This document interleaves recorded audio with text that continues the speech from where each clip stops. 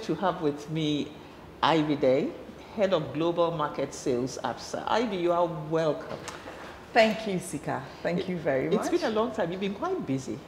Yes, yes, yes, yes. You know, my work is in the heart of the economy. Yeah. So with all that's going on, You, you were traveling. I know you traveled. You went to Nigeria. Was it Nigeria? Zambia. Zambia, yeah. I was in Zambia. My first time, but um, beautiful country. Oh, really? Yes, I was in Livingstone. Beautiful. Oh, I mean, wow.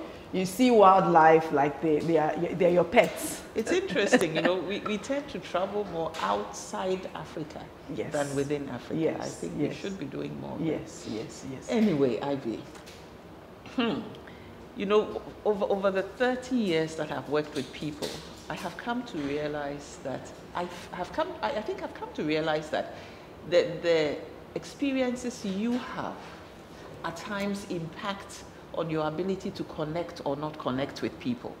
What is your take on that? I agree, and totally relatable. Oh, really? Oh, yes. I, I think that um, the upbringing we have, the way we're brought up, and uh, even the relationships we build as we're growing up, to a large extent, um, affects or has an impact on our experiences So share your of, upbringing. of, of life. so um, hmm, I was an only child for 16 years. Wow. I know. I remember my when my little brother was born and he started school. His schoolmates, his teachers, everybody thought I was his mother. So when I go to pick him from school, they'll say, Sinclair, your mother is here. Oh. And I really used to hate it. I mean, well, long story short, he's a, he's a, a grown-up man now, and now we're back to brother and sister, not not son- son and daughter, son and mother. but anyway, yes. Um, so grew up only child. Um, it was a big family. My father had a lot of his. Um, um, siblings, children growing up with us. So big family. My I lived with my stepmother as well, and my father. She had a sewing company, so the house was always bustling with people. In spite of that, I still felt an only child. You felt alone. I did feel alone. And so, eh, you know, even when I went into I went to secondary school, boarding house, I think it even became worse because it was a bigger group, but you you really felt that people had siblings. Mm. Even those whose siblings were not in school mm-hmm. had siblings outside. Mm-hmm. So in terms of our conversations and things, you get to feel more that you, you, you are an only child. And I think what that did for me then is in growing up, I looked out for myself more. Hmm. You know, and at that point, I didn't think it was a bad thing. When you say you looked out for yourself, what do you mean? So I looked out for my individual excellence, hmm. my individual achievement. And, you know, my parents did well for me, took me to the best of schools, and Wesley Girls. You went to Wesley, I went to House, so we are rivals. but we, we, we've got some strength in the rivalry. so, best of schools, finished University of Ghana, finished uh, my postgraduate, I am abroad. I, I could tell it was Ivy. It was be the best of yourself. It was not so much about the people around me, you know, and you can easily get caught up in that. And like I said at that point, I didn't think there was anything wrong with Did it. it show up in your relationship with people? I I don't The self. I, I- well, I need to get it from their end. But as I've grown and where I am currently, I feel there's more depth in my relationships now mm-hmm. than previously. I, I think the fact that I grew up with a lot of people, but I didn't feel a certain tie with them, my relationships were touch and go. Mm. Because Yeah. what I felt was you're not there forever. So It's about you. it's about me, it's about what we do now, and then that's it. Mm. There was no continuation of that or where I felt you had something for me, and therefore I needed to keep the connection, keep the relationship. So, You know, I- when, when you talk about keep the connection, Yeah. keep the relationship, what comes into mind? mind is the saying that women are our worst enemies. we, we, we, you know, a lot of relationships are superficial. Yeah. Uh, and there's a lot of people say, this is not, I mean, there's a lot of, as if they're nice to you, but they're talking about you, as if mm. they're, you know, Yeah. what, what, what, do you believe that women are their worst enemies? It, it is a societal perception, I mm. must say. That's also being fed by real stories. Mm. So it's true, all the examples you gave, you, you meet different women groups that, you know, within the groups, there are subgroups. Are, You know, and where- within the subgroups, there are more subgroups. there are more subgroups where you you can you I mean you may think that everybody shares you know your views your opinions but then that, that that's not it so I think that our women are our own you know worst enemies like I said Sikap and um, since meeting you and getting to start this journey on becoming my best self I would say I have met let's say in the past three to five years, I have met, got opportunity to meet women who are more supportive of each other and women who are interested in, in getting the best out of other women. But yes, eh, a woman who At what point are we our worst worst enemies. I would say that sometimes it is us women. You know, women, we treasure relationships. yeah. And so, along the line, when the relationship doesn't go well, when your trust is abused, when you feel used, you create some limiting beliefs hmm. that makes you not trust hmm. the other person, not just because the person is a woman, but you, you're, you're immediately holding on to, you know, being your, yourself. I always give this example. If you have a male boss and um, you get menstrual cramps, there are a lot of men who don't even want to get into the details of, of that topic. so you could tell your boss, you know, that I have menstrual cramps, I can't come to work today. Yeah. And, you know, he just doesn't want to get into it. So may easily say, okay, you will have a female boss whose take on that will be totally different. And reasons may be one, that female boss may experience cramps herself and does still goes to work. Mm-hmm. So doesn't understand why you want to mm. take the day off because of that. Two, that female boss may also have had experiences where people use that as an excuse and didn't get the work done. Mm-hmm. These experiences can easily make, especially a woman in authority, have some Block. blocks When it comes to, yeah. when it comes to easily feeling for another woman that they have to work with.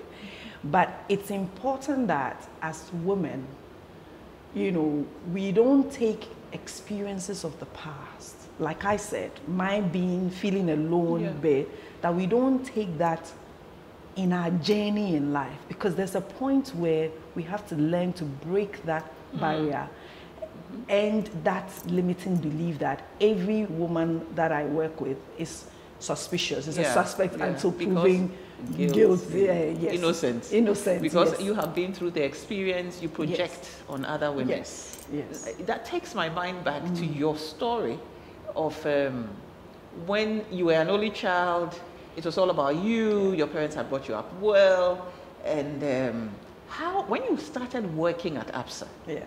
how was that showing up in your work as a lead Yeah. person? So, I mean, I've had a beautiful journey with, with, with Absa. When I joined the business, my work schedule was still a me schedule. Okay. So it was me delivering. Hmm. It was me with my targets. It was me shining, and God helped me. So I did do well. And uh, I saw my career progressing. It got to a stage where it was not going to be about me to get to the next level. At what stage did it get to? it was not going to be about you.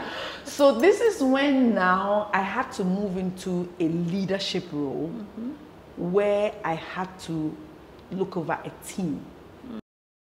And I honestly thank God for your life because you came in at the right time. Hmm. There I was with that mindset, my fixed mindset that it's about Ivy's brilliance, it's about Ivy's um, achievements, about Ivy's excellence. And I remember our first meeting, how I was so sure that I'm here delivering my targets. I really don't need a coach, you know, and God forgive me. but when we met and I started telling you where I wanted to be in the next five years, etc., and my focus then again was making my team members become like me. I remember that statement. Exactly. I wanted I wanted to make yes, more Ivies. Yes, I want to make more Ivies in my department. I said, wow. this girl must be feeling good. but you know, that's that's what the upbringing yeah. had done for me. That you know, that's you. You're all alone here, but you can still do well alone. It, it's mm. not so much a bad thought, but like I said, to grow in my career, to get to the next level, becoming my best Ivy, I now need to connect with others. And that's where you came in. I remember you telling me the world will be boring if there's only an Ivy if there are 20 Ivies, it would be a boring world. And I agree, it would be very boring. I needed a variety of different people and what they, they brought, and they being their best selves.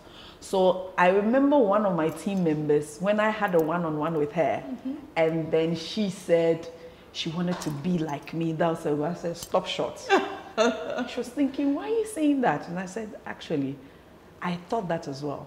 But I met a woman who changed my view on that.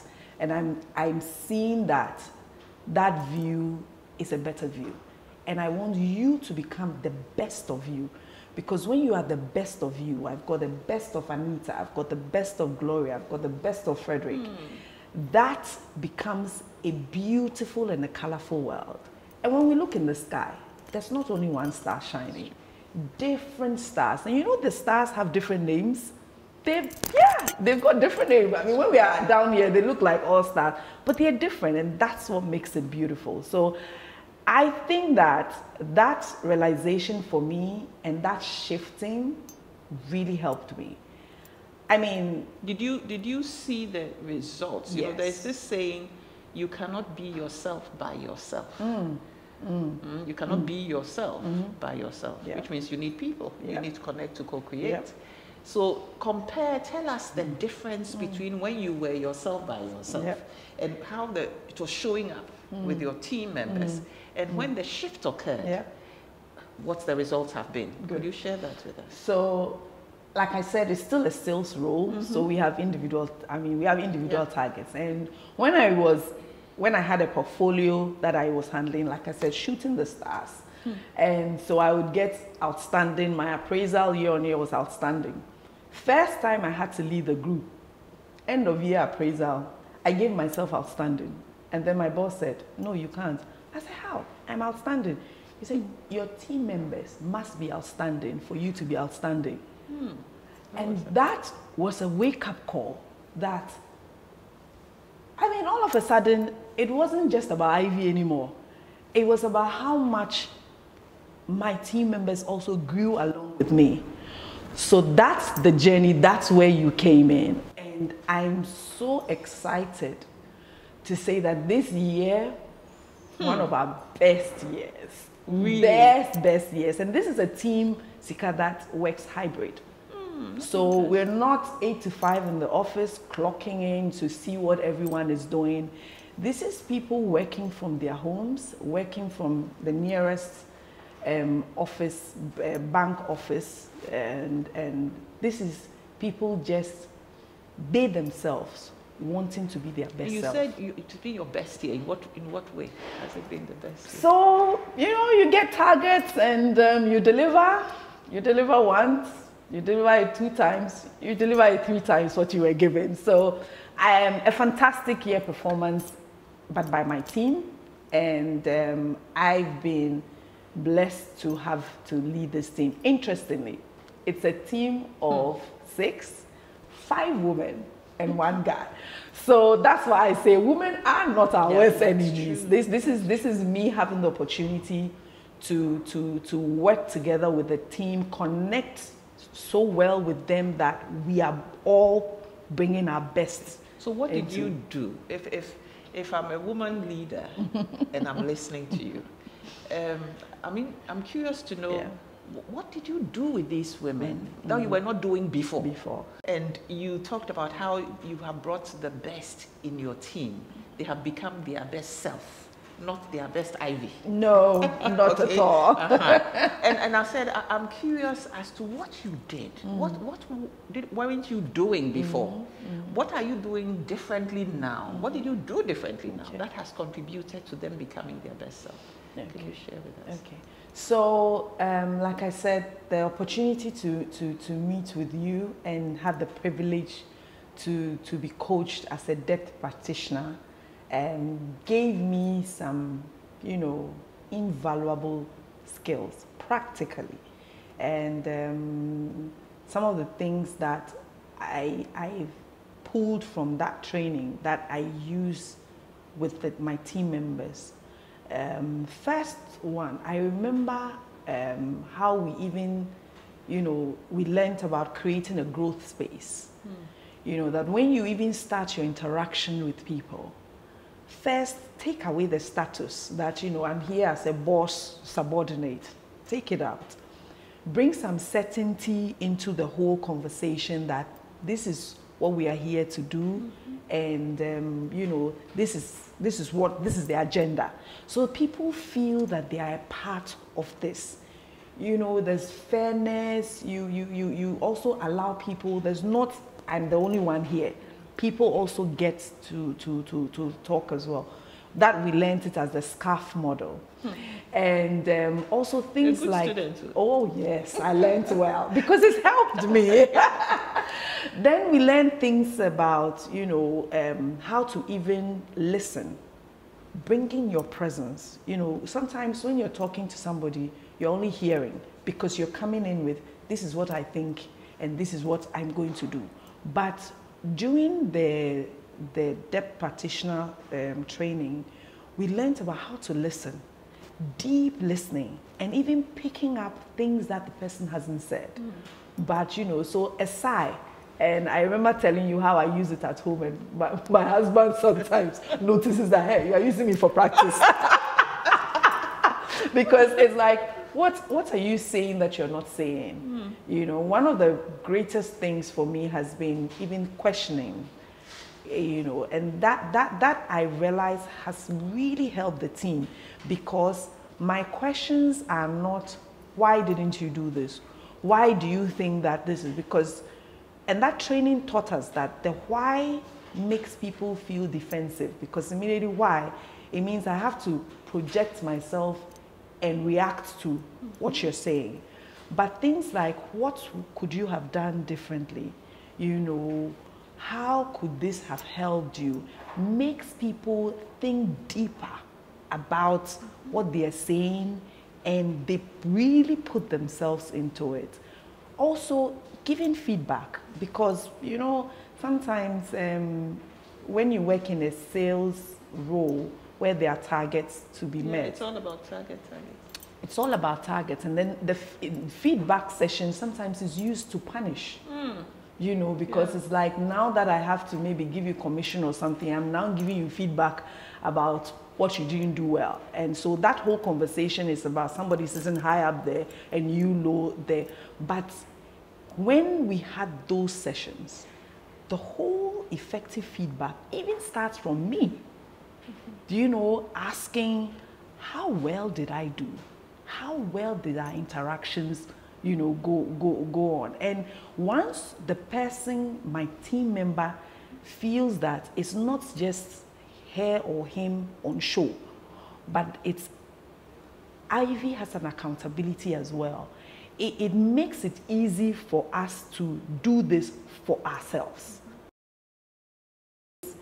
Because it is the best of me bringing out the best of Ivy as well. So I think that the practical skills is really what what helped me to shift from this, you know, individual Ivy, I'm there to sit and and I think I, I, I, I should thank my business as well for not making once you are a leader, you you can't shine alone. You have to shine with others. You have to shine with others. You have to shine with others. And, and the, the, the business brought that out very clearly, and I'm connecting the dots because once that came out, I'm sure I would have wondered, what do I do? Do I still just beat them all up and become Ivy, become Ivy? yeah. But then I met you and you said, no, use these skills to get people to become their best selves. And that honestly has been an, a, a real eye opener. Do you see that? Um, I always say that when you empower others, mm-hmm. there's a relief you get. Oh, yes. You know, I remember one of you know when our classes you talked about the fact that uh, there's this I have to do this and I have to and I have to, uh-huh. and and do you do you see that by um, getting them to become their yeah. best self? Yeah you, there's a relief yeah. for you. In oh, what way yes. has your workload reduced, or in what big big relief? Mm. I remember that example I gave you that I had to check out, you know, because we had monthly reports, and I felt, you know, I write better. Why can't these people write like me? Today's confession time.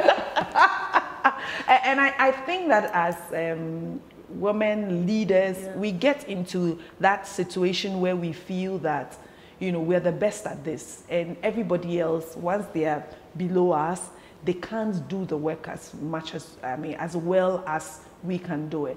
I, I think that if you want them to do it that well, first recognize that they're doing something. Mm. So that, you, you know, you helped me to, to, to, to, to now let their authentic self come out. Mm. So I wasn't so critical of their reports now. I what I did was once the important points are there, because the report, there are things that must come out. The style doesn't always have to be my style. Mm. It, it, can be different. So we have these uh, Monday, every other Monday morning meetings that you know, I used to vet the, you had become a teacher the report before it comes out. You know, now it's fresh breeze. And are they doing better? They are. And you know, now what I've done is every team member gets the chance to, to do the report one every month. Mm-hmm. So, and that's giving them visibility as well. Mm, yeah. You know, and what it's doing for me is I'm more in the back seat which is what sometimes we struggle with that ish doesn't mean that I lose visibility. But mm. no, now I have more opportunity to create other, I mean, help other people to become the best of themselves. So, what I'm doing now is I have a little bit more time to now mentor or coach. I prefer coaching yeah. because mentoring is you know different different yes uh, but when, when you come to the class you know the difference but to coach other people in the business who actually see my team as wow this is a great team this is a team i want to, to be in um, we, we, we may not have the space for everyone but i'm able to use their space their stories mm-hmm. to tell them you can be your best at where you are without having to move to my team. Because mm. sometimes people feel stuck. Mm-hmm. They feel I've been doing this for eight years. Yeah. I've been in this same place for eight years. You know, there's no, and every role that comes, I'm not giving the role. That's, that can limit you. That can limit you to move to the next level. That you may think that there, if any role comes, they've already decided who to mm-hmm. give it to, so mm-hmm. I'm not good at anything. No. There is something in you there is something in you that once you take out those limiting beliefs, mm. you can connect with other people to become, to bring out that beautiful self wow. of you. Wow. So the shift seems to have come, you've shifted from seeing Ivy to seeing the potential others. in others. Yes. And, and yes. in the process, you yes. are getting, do you see the rippling effect on your customers? If, you know, compared to before, mm. do you see mm is it showing in, in any way? Your team growth, your growth, mm-hmm. how is it impacting on, on your customers? Big impact because what that means is that then there are a lot more great people out there bringing customers in. Hmm. So it's not one effort. And um, I mean, I because I lead the team now, I don't really handle day to day, you know, client work.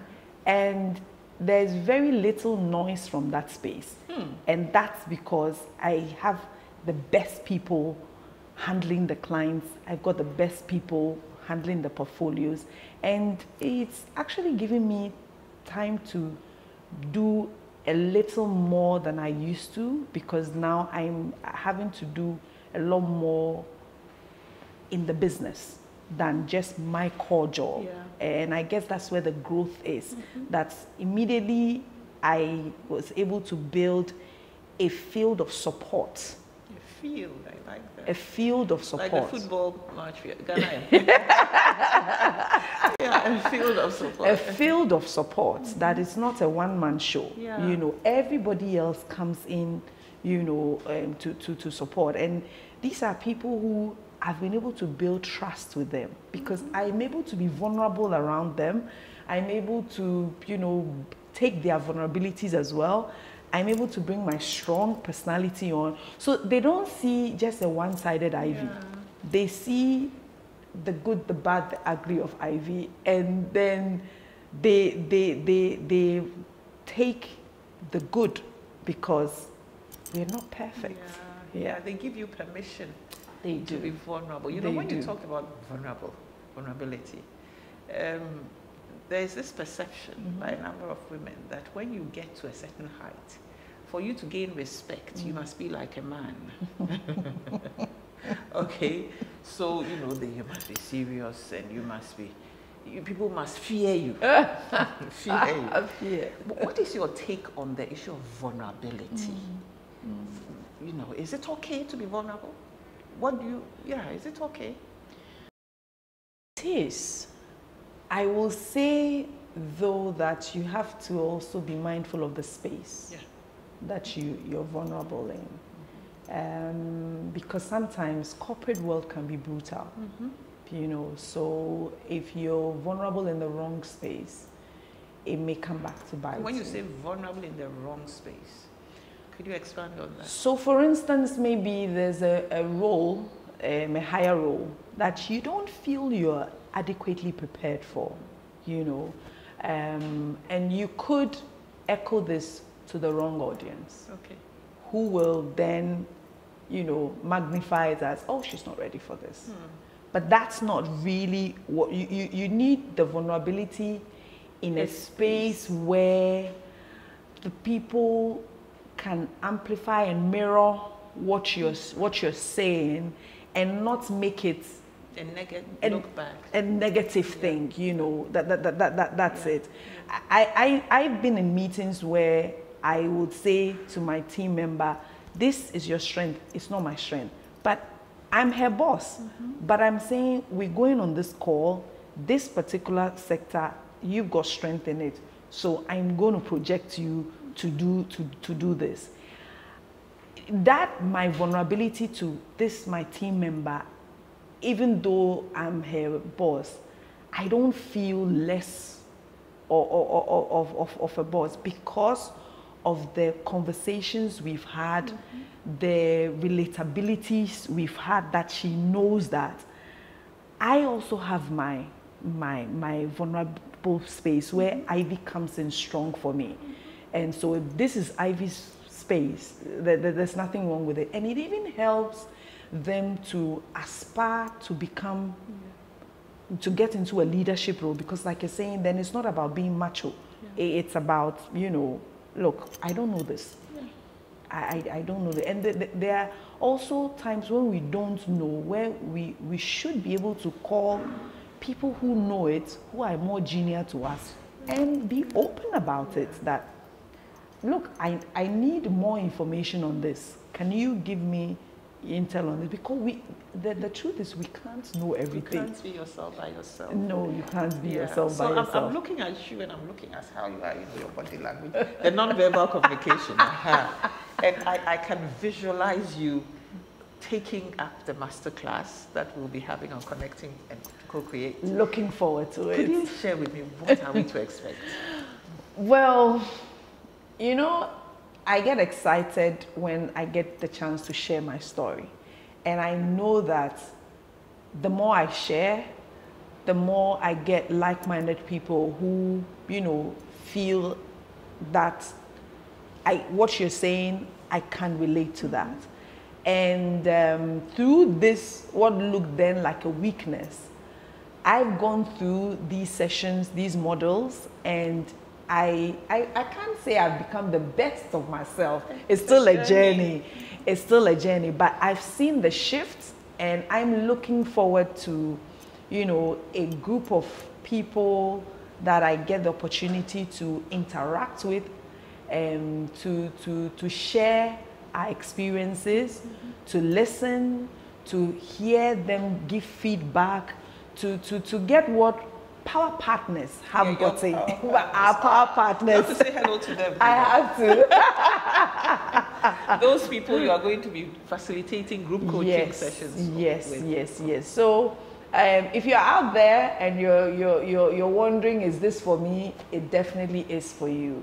Imagine, you know, being in a space with people you don't know, but you get the, the, the chance to immediately build relationships, to connect with people in a way that you, you, you can be your best self without even knowing. I mean, I met Sika, Sika put a group of us together and we called ourselves power partners because in that room, I think our first meeting was even virtually.